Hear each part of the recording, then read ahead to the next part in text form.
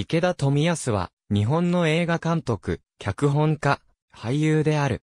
旅役者として、スタート、映画俳優、尾上松三郎として、映画のキャリアを始める。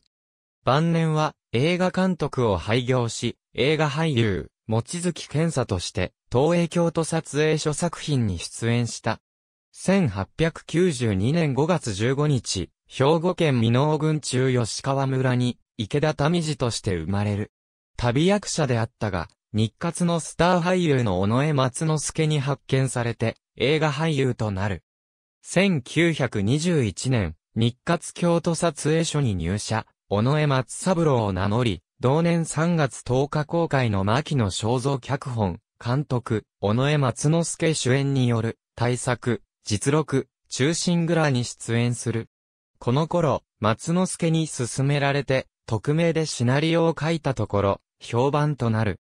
1923年9月1日の関東大震災の後、日活の東京、向島撮影所から現代劇部のスタッフが移転してくる流れの中で俳優から演出部に転校、1924年1月7日、私森と武士を監督して映画監督としてデビューした。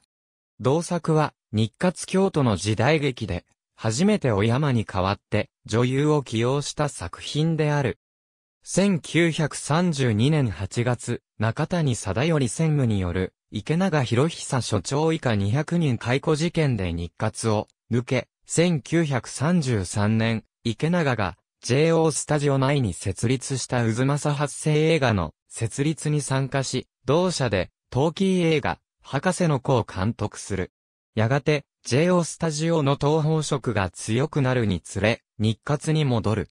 1942年4月の合併で設立した大日本映画に残留し、日活京都撮影所は大英京都撮影所と名を変えたが、同撮影所で同年、伊賀の水月を監督し、同年8月13日、同作は、紅系で公開された。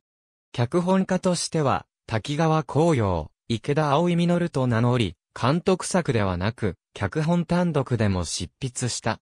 第二次世界大戦後は、1946年、池田は、大道映画を設立、立花の君子らを、大映から引き抜こうとしたが、映画制作をすることはできなかった。